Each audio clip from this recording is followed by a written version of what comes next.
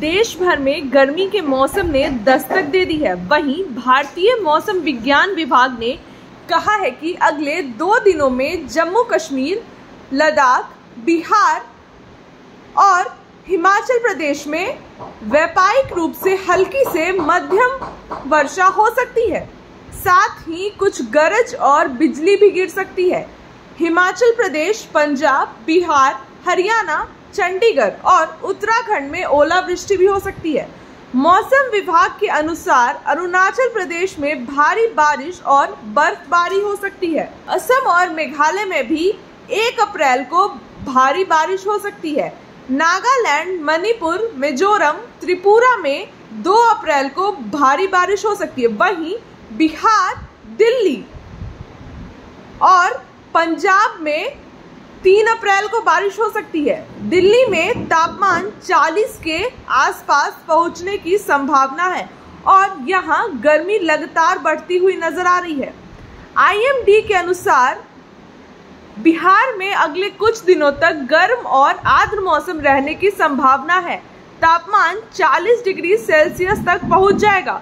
शुष्क मौसम और तेज धूप के कारण आंतरिक ओडिशा में भी तापमान में वृद्धि देखी जा सकती है। मौसम विभाग ने अप्रैल और मई में सामान्य से अधिक तापमान और लू चलने की चेतावनी दी है।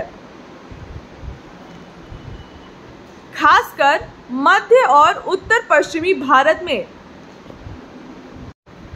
आईएमडी ने अगले दो दिन से तीन महीनों के लिए असामान्य तापमान की भविष्यवाणी की है। स्काई मेट वेदर के अनुसार अगले 24 घंटों के दौरान पश्चिमी हिमालय से हल्की और मध्यम बारिश और बर्फबारी के साथ कुछ स्थानों पर भी भारी बारिश हो सकती है और उसके बाद तीव्रता और फैलाव में कमी आ सकती है। उत्तरी पंजाब, हरियाणा, मध्य प्रदेश, बिहार, छत्तीसगढ़, विदर्भ और केरला में बारिश और आंधी संभव है। मध्य प्रदेश, विदर्भ, उत्तरी, आंतरिक कर्नाटक रायसीमा और तेलंगाना के अलग अलग इलाकों में लू की स्थिति संभव है। पश्चिमी मध्य प्रदेश, गुजरात क्षेत्र, मध्य महाराष्ट्र और मारठ वारा के अलग अलग हिस्सों में गर्म रात की स्थिति हो सकती है। Bureau report, news PR live, Patna.